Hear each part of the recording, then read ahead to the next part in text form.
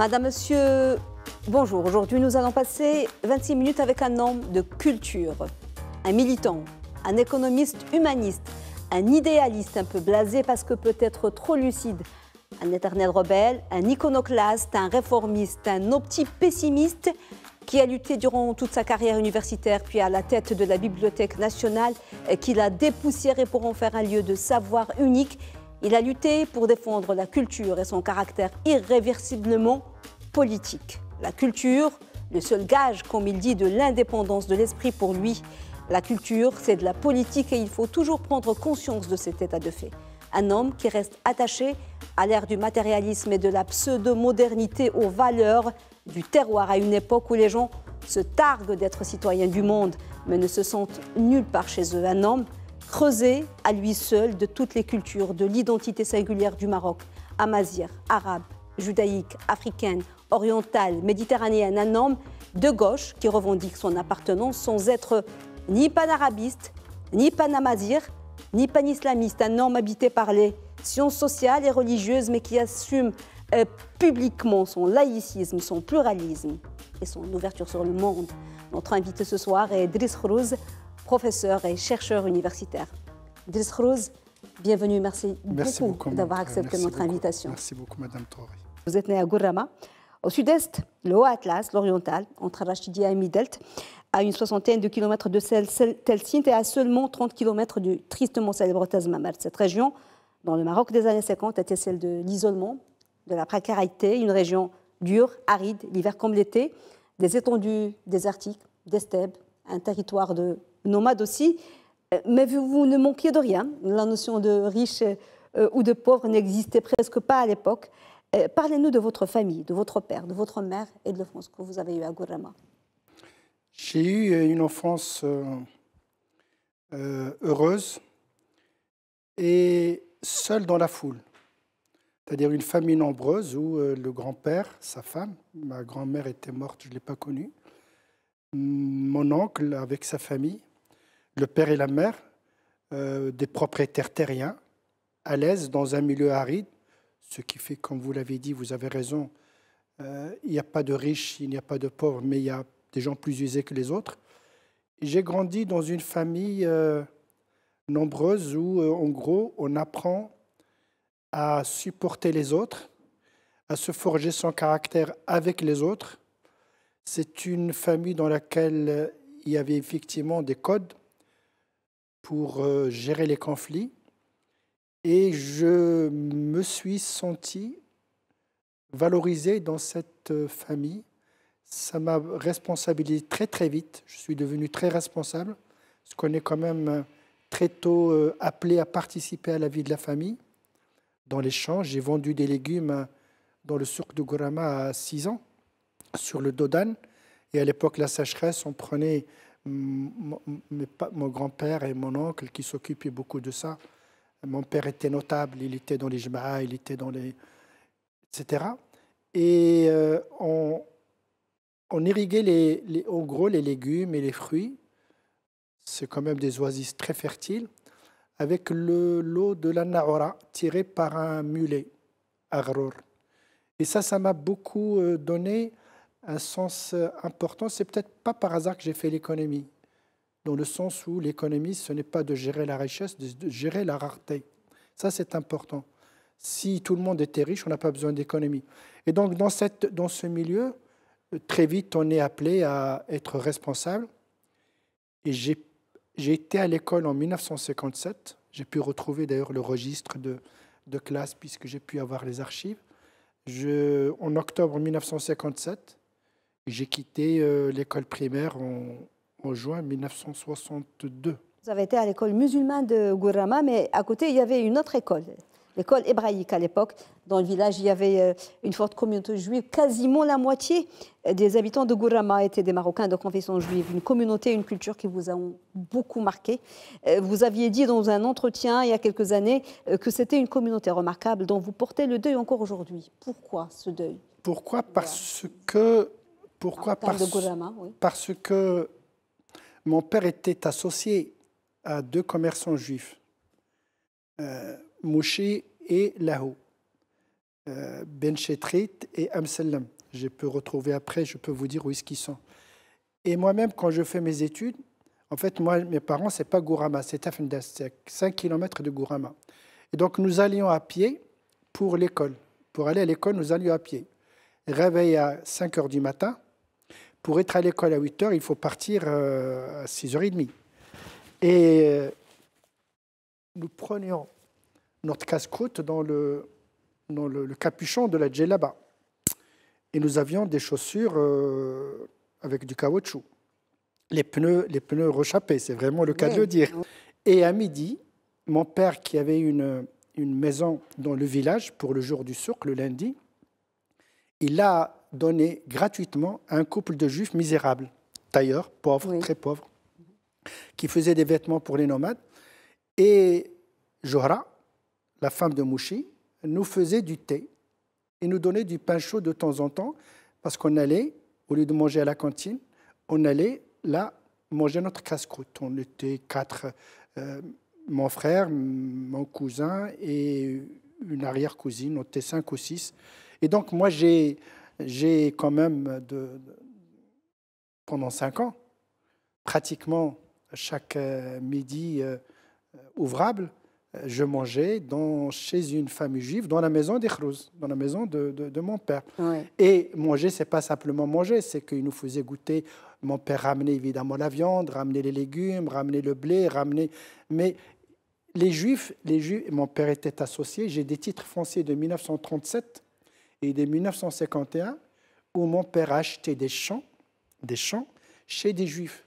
Donc quand on dit que les juifs euh, sont euh, nés avec le protectorat, qu'ils étaient des commerçants, ceci, cela, j'ai des preuves que les juifs étaient des paysans.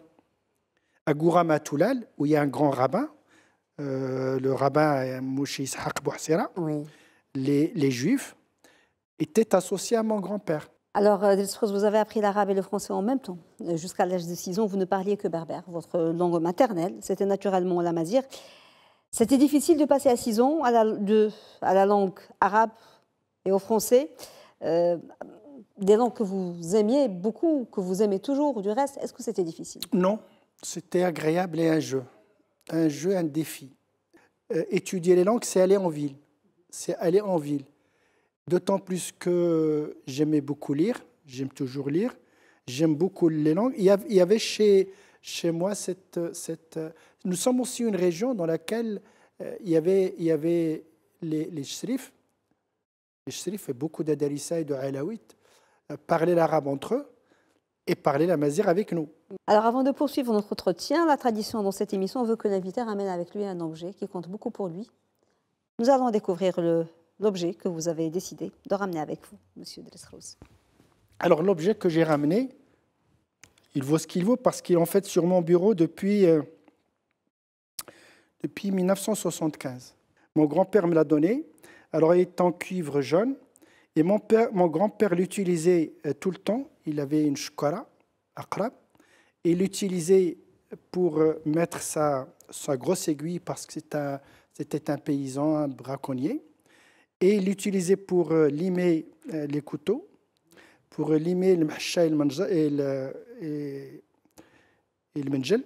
Et m'a-t-il dit, je ne sais pas ce que ça vaut, j'ai jamais essayé, je n'ai pas envie d'essayer, que ce cuivre ancien qu'il tenait lui d'un dit-il, le protégeait contre les morsures des serpents et des scorpions, parce que mon grand-père dormait tout l'été sur la terrasse à l'extérieur ou à Nouadr. Il avait horreur de dormir euh, sous un toit en, été. Alors après l'école musulmane, vous avez intégré euh, le lycée militaire euh, de Kenitra, le Pritané du Maroc. quel souvenir gardez-vous de cette époque? Je garde de cette époque une, photo, une mise à l'épreuve. C'est pas ordre de taille, et on était en sixième. C'était en octobre 1962, et nous étions à Kenitra dans une caserne. Alors pour moi qui venais de la campagne pauvre, rural, euh, arriver dans ce, milieu avec des enfants de tous les horizons. De tous les horizons. À l'époque, Hassan II a créé ce lycée parce que les militaires changeaient de ville. Et donc leurs enfants souffraient puisqu'ils passaient d'un lycée. D'une, Et donc ça donnait une stabilité, un, très, un, enseignement magnifique. un enseignement magnifique, mais un régime très dur. Ce qui fait que ce lycée, il a fait des heureux, il a fait des malheureux. Parce que je connais beaucoup de camarades qui n'ont pas supporté ce régime et qui après, etc. Mais ce que je peux dire, c'est que pour moi personnellement, j'ai fait de très bonnes études de, de langue, de français, d'anglais, pas d'arabe. L'arabe, je l'ai travaillé tout seul. C'est un lycée d'excellence. Oui. Alors, vous étiez brillant, très bon élève. Et à 18 ans, vous obtenez votre baccalauréat et euh, vous faites des études euh, d'économie. C'est un baccalauréat sciences euh, économiques. Et puis, c'était dans l'air du temps, à l'université, vous êtes séduit par les idées de gauche, le marxisme, vous militez au sein de l'UNEM. à 21 ans, vous partez à Lille, où vous obtiendrez deux diplômes d'études supérieures, l'un en économie et l'autre en gestion de l'entreprise. À votre retour, vous êtes chargé d'assurer des travaux dirigés à la faculté euh, de Fès. Et euh, vous parlez de Fès euh, parce que c'était une équipe vous aviez créé une nouvelle dynamique. vous disiez pour fuir le mandarinat et l'autorité intellectuelle de la capitale. Racontez-nous tout cela, cette période de Fès, la belle époque de la faculté de Fès et comment tout cela a dégénéré nous avons euh, fait en tant qu'équipe un travail remarquable. Jeune, motivé, plein d'illusions, dans une faculté où tout est à construire. Mes premiers cours euh, que j'avais fait à l'époque, puisqu'en plus c'était des travaux dirigés, mais c'était aussi des cours, parce qu'il n'y avait personne.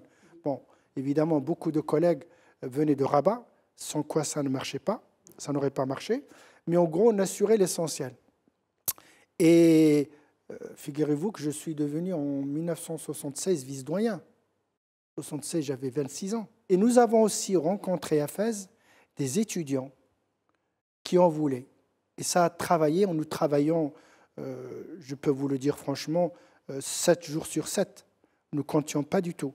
Parce qu'il fallait le faire. Et d'ailleurs, les résultats sont venus très vite. Oui. Nos étudiants sont, étaient parmi les meilleurs dans tous les concours. À quel moment l'université marocaine a commencé à régresser et l'enseignement public de façon générale, à votre avis, Delis Ça a dégénéré à partir du moment où euh, on a arabisé et marocanisé trop vite sans préparer les cadres. C'est-à-dire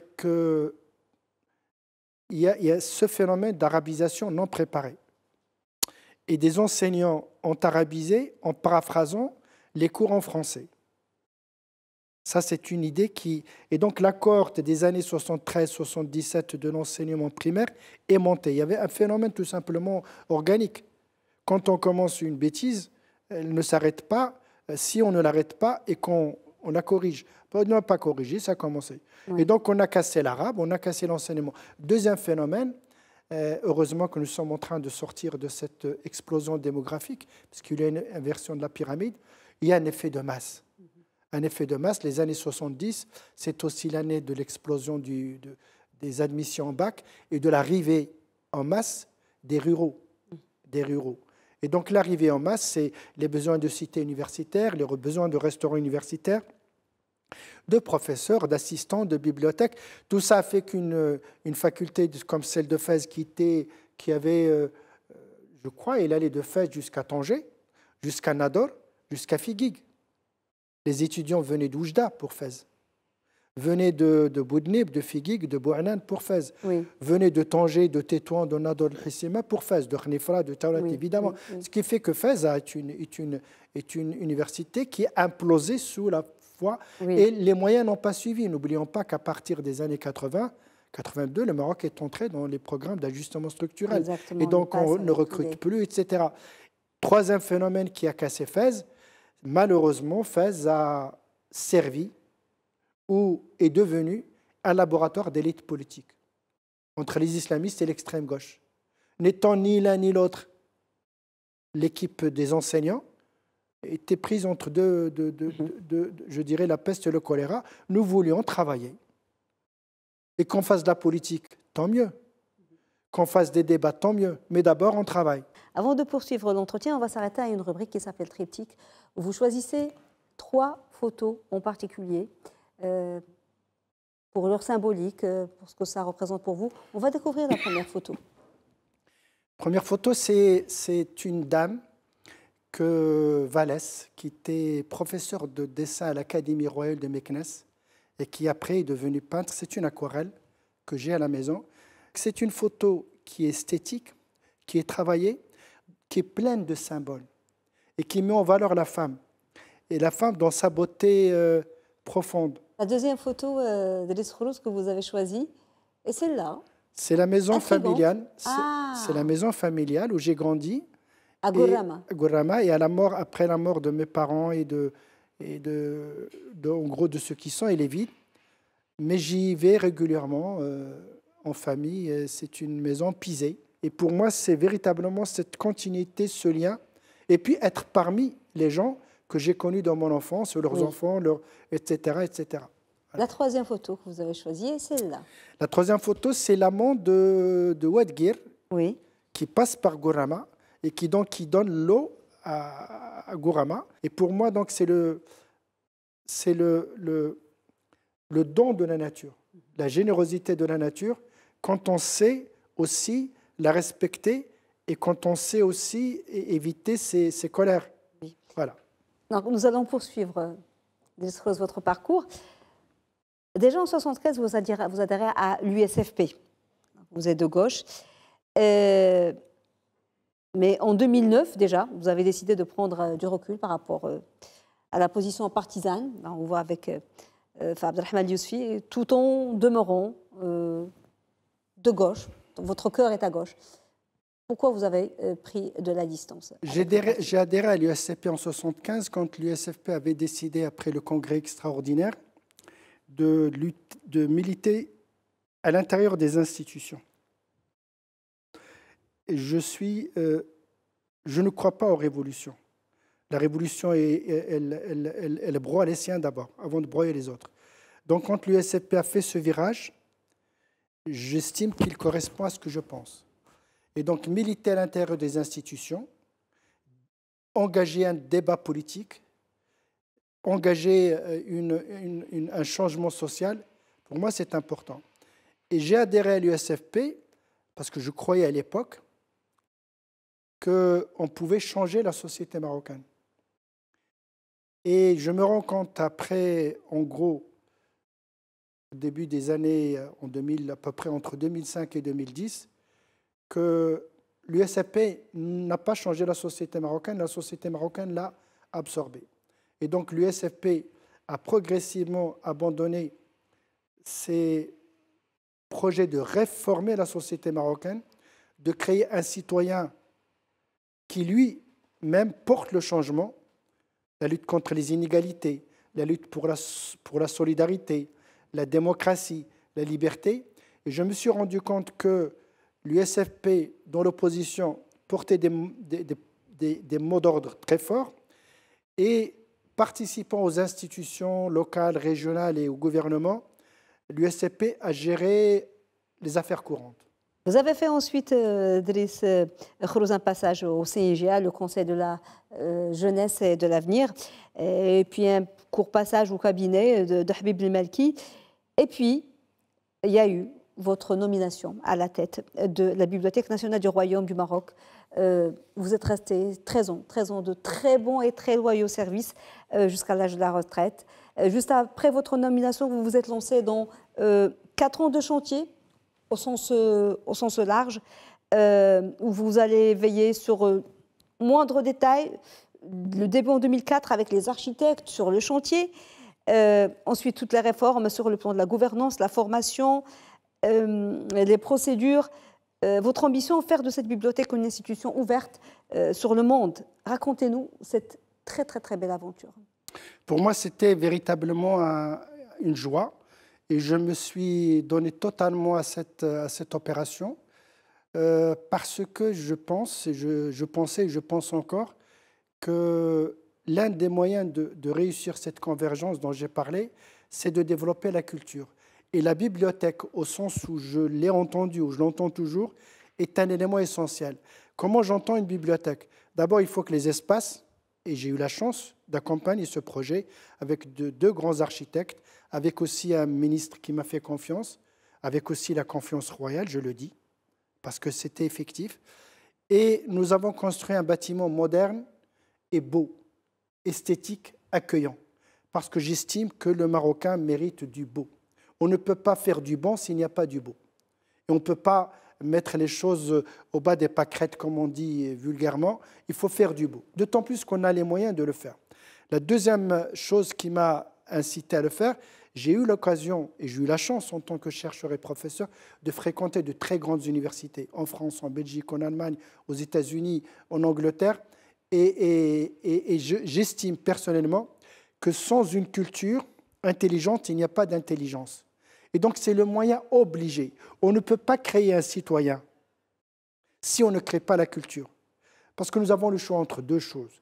Soit obliger quelqu'un à être intelligent, ça ne réussit jamais. Oui. À être libre, à être honnête, à être digne et responsable, ça ne réussit jamais. Soit on le forme, on l'éduque. L'éducation, c'est d'abord accompagner. Accompagner, initier et laisser faire et encadrer. Et la bibliothèque est un espace où les jeunes sont là pour euh, lire tous les horizons qui leur plaisent, dans toutes les langues qui leur plaisent. Évidemment, en amont, il faut qu'ils soient préparés par l'école, par la faculté, par l'université, par les familles. Troisième raison aussi, c'est que la bibliothèque est un lieu où, personnellement, excusez-moi, vous me posez la question, c'est peut-être prétentieux ce que j'ai dit, j'ai sorti une grande partie du patrimoine, notamment les manuscrits, les collections spécialisées, de cette sphère où je l'ai trouvé quand j'arrivais. Il faut être pistonné pour, consulter un certain nombre de documents. Donc en, en mettant une bibliothèque moderne, informatisée, où l'accès libre existe, il faut acheter des livres, où les livres rares sont en consultation sur demande, mais en numérisant. Nous avons numérisé plus de 4 millions de pages qui n'ont rien coûté à l'État. Qui n'ont rien coûté à l'État. C'est le partenariat international et national. Oui. Et en numérisant, ça devient à la portée de tout le monde. Et la bibliothèque peut être consultée à la distance. Et dernière, dernière chose à laquelle j'ai tenu et que j'ai réussi, c'est de faire de la bibliothèque un lieu de débat. Parce que pour moi, il n'y a pas de culture s'il n'y a pas de, de dialogue, s'il n'y a pas d'échange. Et l'échange suppose nécessairement qu'on soit opposé sur les idées. Je suis pour une bagarre d'idées. Je suis, euh, je suis pour une, une opposition dans les idées mhm. parce qu'ils nous apprennent à connaître l'autre et à le reconnaître et nous apprennent surtout à respecter la différence. Alors le temps passe très très vite, mais on ne peut pas ne pas évoquer votre nomination à la tête de la Fondation L'Esprit de Fès avec son célèbre festival de musique sacrée. Euh, c'était une expérience euh, très importante pour vous aussi? Voir quelques affiches euh, du festival. Euh. Une expérience intéressante. Intéressante, oui. Intéressante parce que j'étais confronté à, à l'idée de monter avec d'autres quelque chose sur, sur, sur la spiritualité. Moi, d'ailleurs, depuis le départ, j'ai récusé le terme de sacré. Pour moi, il n'y a pas de musique sacrée, des musiques spirituelles du monde. Pourquoi? Parce que j'estime que nous devons investir l'islam de façon intelligente sur le plan de la comparaison, le benchmarking, comme on dit aujourd'hui, avec d'autres cultures, et que toutes les spiritualités méritent d'être connues, et c'est une véritable école de l'intelligence, du respect et de l'écoute que la musique spirituelle. Parce que la musique spirituelle, au sens large du terme, qui n'est pas forcément religieuse, d'ailleurs j'ai eu des débats, j'ai dit il n'y a pas de musique musulmane. Psalmodier le Coran, ce n'est pas de la musique. Mais en même temps, il y a le samar, il y a le madah, il y a le soufisme, il y a l'issawa, il y a le etc. Mais il y a le baroque et il y a, il y a, il y a. Et donc, dans cette expérience, euh, j'ai appris à rentrer dans ce monde, moi qui ne suis pas religieux, parce que j'estime qu'on ne peut pas évoluer dans une société sur le plan politique et culturel si on laisse la religion en disant il pratique ou il ne pratique pas, c'est son problème. Mhm. Et laisser la religion simplement à ceux qui se prétendent comme des doctes, oui. c'est très dangereux. Je ne dis pas qu'il faut la vulgariser, je dis simplement qu'il faut la rendre intelligible. Alors, euh, le temps qui nous est imparti est écoulé, mais on va dire rapidement vos deux autres engagements. Euh, la préservation du patrimoine à Mazir, sa valorisation, et le patrimoine judaïque. Le Maroc, il est amazir, il est arabe, il est musulman, il est juif, il a la Constitution et l'article 5 de la Constitution de 2011 de place, ben, il faut le travailler, il faut le rendre palpable, il faut le rendre vivant, il faut qu'il soit présent. Et pour qu'il soit présent, il faut préserver et valoriser ce que nous avons, et il faut aussi créer, créer, créer, créer. Et ça ne touche en rien ce que nous sommes, parce que moi je crois en une seule chose. la pluralité de la culture dans l'unité nationale. La dernière rubrique de notre entretien, Adresse Rose, c'est le chef-d'œuvre. Et nous allons découvrir le chef-d'œuvre que vous avez choisi.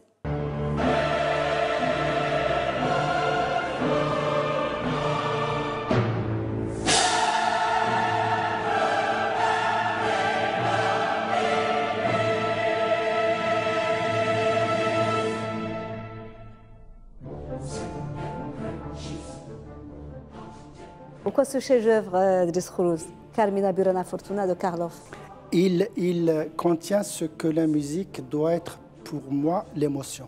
Moi, quand je l'écoute, j'ai l'impression que je m'envole, que je suis au-dessus d'une montagne ou que je regarde un paysage à l'infini. Et c'est ça, la, la, musique, ça donne de l'émotion. Ça donne de l'émotion. En même temps, c'est travaillé, c'est fort, Oui. c'est très fort, Oui. c'est très fort. Et aucun instrument n'est faux, aucun instrument n'est de trop. Et puis, ça, grandiose. Grandiose. Khourouz, merci beaucoup pour ce beau moment. On Merci aimerait beaucoup, parler Madame avec vous pendant des heures et des heures. Je vous remercie Merci. de m'avoir invité. D'avoir été avec nous. J'étais très heureux de ce débat avec vous. C'est Merci réciproque. beaucoup. Merci beaucoup. Madame, Monsieur, merci beaucoup de nous avoir suivis. Très belle soirée et bonne suite des programmes sur Média TV.